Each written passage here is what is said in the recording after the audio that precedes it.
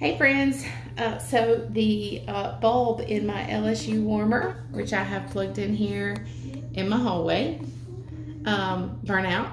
So I just wanted y'all to know, um, I do keep the bulbs in stock on hand here at the house and so easy to change.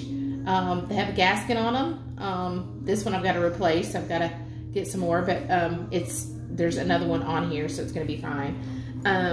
And basically this is uh, the tiny bulb, which is the 15 watt, okay?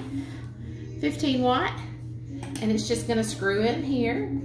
Um, I don't have this warmer currently in stock. This was offered in the past.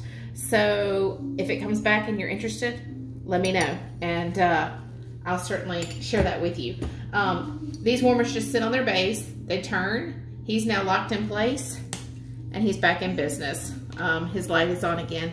So I'm going to put um, some sample um, pineapple rose, uh, which was scent of the month for, I believe, January. Um, and uh, yeah, January. And uh, he's gonna smell up my hallway pretty good.